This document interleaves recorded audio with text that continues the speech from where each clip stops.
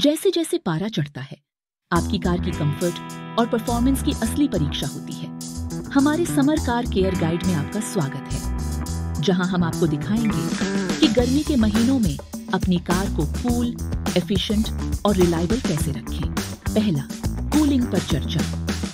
आपकी कार का एसी सिर्फ़ एक लग्जरी नहीं है, गर्मी में यह एक आवश्यकता है। सुनिश्चित करें कि आपका एसी पूरी तरह से चार्ज हो और फ़िल्टर साफ़ हो, ताकि उत्तम कूलिंग हो सके। एक वेल मेंटेन हुई कूलिंग सिस्टम कार केबिन को अच्छे से ठंडा रखती, प्रदूषित कणों को फ़िल्टर और मॉइस्चर को कम करती है।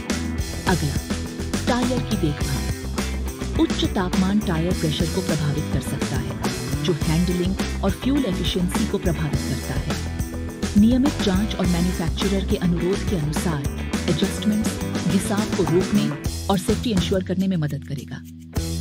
सेफ्टी सिर्फ़ आपके लिए ही नहीं, आपकी कार के लिए भी ज़रूरी है। सीधे सूरज की रोशनी में लंबे समय तक एक्सपोजर आपकी कार के पेंट को फीका कर सकता है। एक गुणवत्ता वाला वैक्स कोटिंग न केवल चमक लगता है, बल्कि यूवी किरणों के खिलाफ एक सुरक्षात्मक लेयर भी बनाता है। हुड के नीचे आपकी इंजन की कूलिंग सिस्टम काम करती है।